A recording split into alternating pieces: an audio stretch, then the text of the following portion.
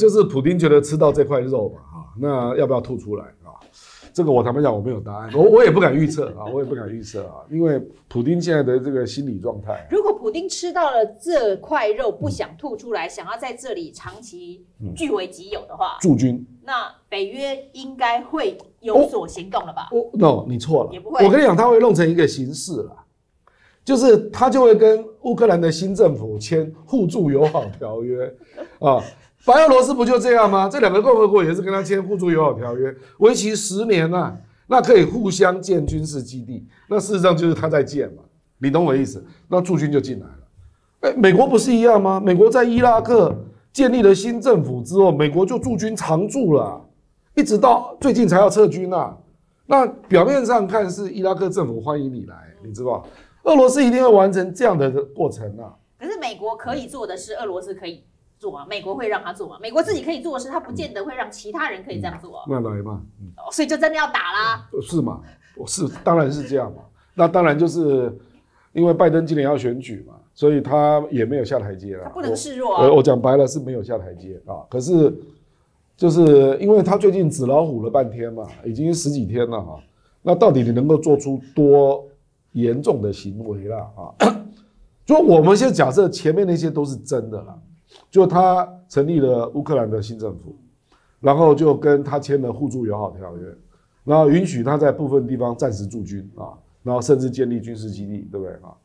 那他就这边拼命干啊，拼命盖军事基地啊，就驻军了啊。美国怎么办？请问你你你接下来要怎样？你说美国很生气，那要做什么？不晓得啊，不，所以你能够想象的就是既有的经济制裁措施持续下去持续下去嘛。那我跟你讲，谁会撑不住嘛？欧洲嘛。我跟你讲，为什么欧洲会撑不住哦？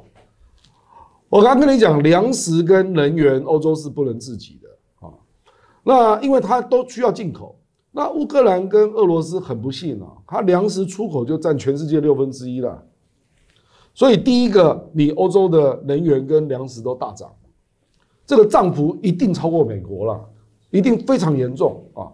所以欧洲第一个碰到的就是严厉的通膨啊！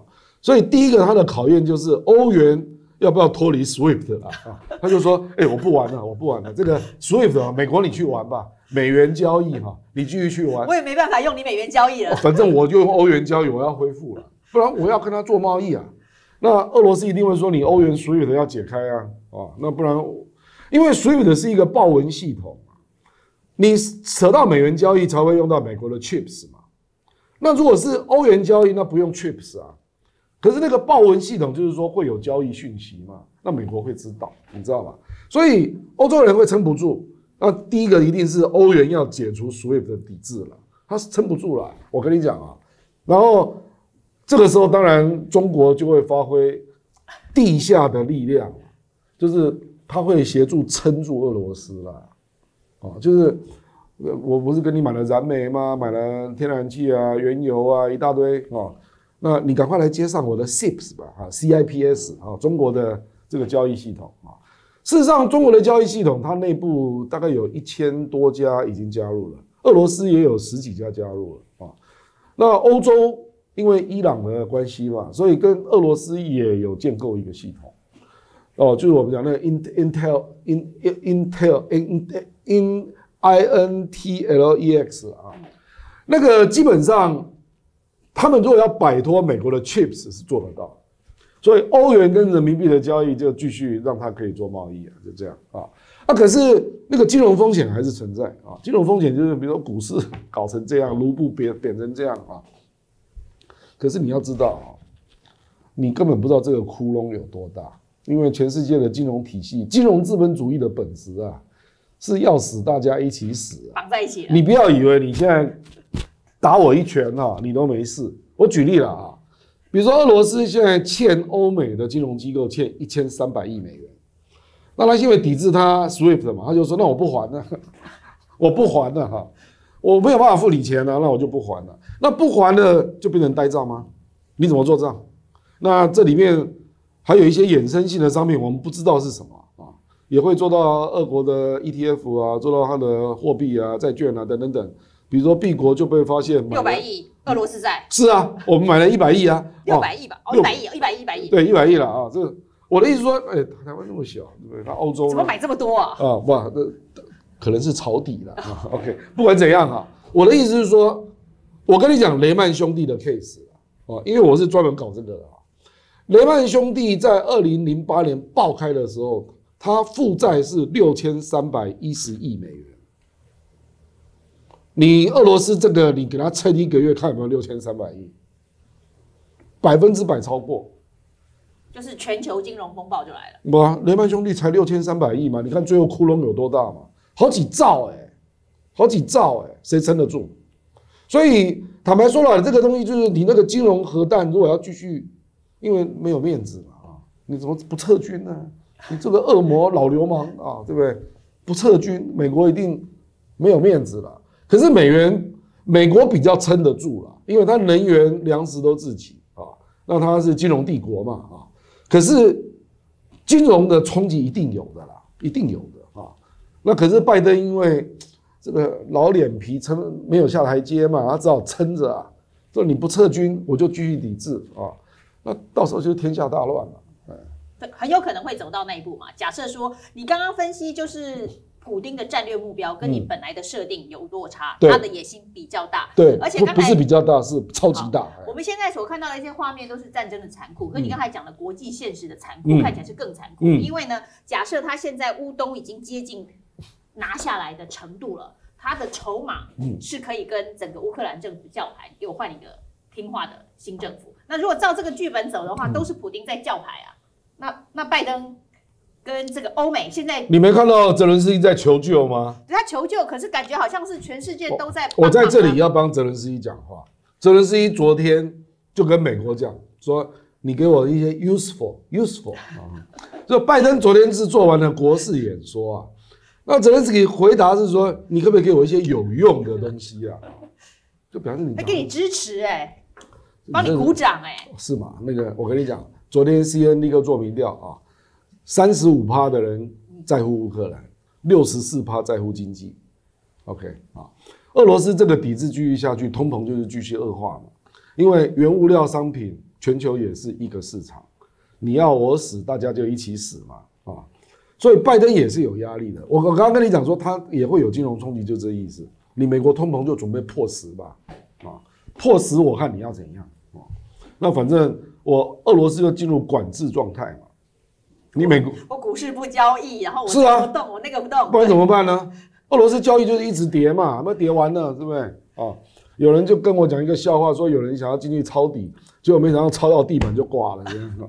那题外话了，没法继续往下挖了，没有没有办法对，关门了，关门了。哦，所以，所以，所以泽伦斯基他是在呼救，为什么呢？因为如果说欧盟或者是美国愿意出来讲一句话，说我们不会让乌克兰加入北约，这个 game 就结束了，因为俄罗斯就没有打的正当哎、性可。他现在是要加入欧盟、哎，不，欧盟他已经也变成候选国嘞、欧盟也不会加入了，你你不要他高估了。他有在呼救说他在战火下加入，今天那个欧欧洲委员会已经出来讲了，说那个不可能。不可能，候选慢慢候。因为欧洲议会根本不重要了，所以欧洲议会做的决议没有用啊。那个欧盟的程序是要欧洲委员会跟欧洲欧盟的二十七国个别通过，要共视觉了啊。而且事实上不可能通过了，为什么呢？因为乌克兰的人均所得三千五百美元啊，欧盟的人均所得是三万五千美元，十倍十倍，啊。你光是去讲人口自由流动，那你的就业冲击有多大？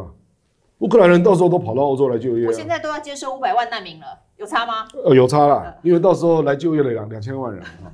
那第二个是农业补贴啦，因为它有共同农业政策，它农产品的定价是在一定的范围内的。你乌克兰的农产品如果用它现在的人均所得灌到欧洲，那连法国都倒啊。那那个每年补贴的金额，我认为至少超过几百亿美元，几百亿欧元啊。那欧欧盟怎么受得了？所以这个是一个现实啊。所以你看土耳其嘛，土耳其二零零七就已经申请欧盟进入审查，一直到现在都没有结果。为什么？因为这欧盟不能公开讲啊，他就用各种条件去刁你嘛。真正的逻辑是他是穆斯林嘛，你让穆斯林的人口可以自由窜，欧洲怎么受得了啊？这我是讲说这个题外话了啊。我的说哎国际现实真的很残酷。本来就是啊，所以我说欧盟你也不用想了。所以真正的逻辑是什么？真正的逻辑是就到时候你说只有这一招可以解决和平解决问，不是和平啦，就是说代价比较小的解决就是美国跟欧盟出来讲，我们不会让乌克兰加入北约啊，那俄罗斯就失去打的正当性，他就只有说我要维护这两个共和国。哎、那跟现在的氛围哦，现在全世界反俄罗斯的氛围比起来，那这些政客如果这样子做的话，那在国内的政治压力怎么解决？政客，你真的是太老实了。政治本质就是饭要一口一口吃啊，哦。你吃到第三口，舆论又不一样，哦，随时会改，吃到第四口。如，流水。我我跟你讲波湾战争好了啦啊，那个不不是波湾战争，就是二零零三年打伊拉克啊，打伊拉克一开始全世界都反对啊，那美国打到二十几天的时候，发现大概就是赢了嘛，那后来要抓到萨达姆胡塞，大家开始拍手啊，就是这样啊，那后来美国呃联合国要来谴责都没有用啊，因为他打赢了嘛。我跟你讲，那个所以俄罗斯现在最重要是把仗打赢。当然是了，而且赶快结束了，战争赶快结束，然后赶快组建新政府哦。那如果然后大家都忘了过去怎么挺伦泽伦斯基的，大家会忘记，呃，大家选择性忘记就。选择性忘，假装没这回事，没发生过这回事。我跟你讲，连媒体都一样，连媒体，我我举了一个例子了，翁山书记你还记得吗？翁山书记当年英美的媒体是怎么去捧他？包括台湾，包括日本，我们台湾还翻译了一大堆他的传记，对不对？那请问翁山书记，你现在怎么不去捧他？他现在准备坐牢、哎，他被军政府判了四年了、为什么现在舆论都不见了？只因为他去迫害罗兴亚人吗？拜托好不好？绝对不是只有这个原因嘛，是因为缅甸那个烂泥潭不知道怎么支持嘛，因为眼看翁山书记没有办法反抗军政府嘛，看起来不会赢嘛，不然你应该支持到底啊，所以你就说这个国际社会是支持赢的人就对了。本来就是这样子啊，不，我不能说本来就是这样啊，就是说，呃，到最后看反抗者机会不大，那那个新闻就慢慢淡去了啦。那倒不是说就承认了乌克兰新政府或普京这个事情的正当性啊，不是这意思啊，而是说这件事情就淡掉了，你知道吧？比如说美国，美国在打伊拉克，二零零三年一开始争议也很大、那等他真的成立伊拉克政府之后，有新闻吗？那持续到现在十几年了，你现在看到的新闻都是美军又被炸，对不对？都是那种零星的暴力事件，对不对？然后最后美国开始算钱呐、说划不来啊等等嘛啊。阿富汗不是也是这样吗？塔利班哪有什么新闻？塔利班啊，如果不是后来他夺下第二大城，哪有什么新闻？对不对？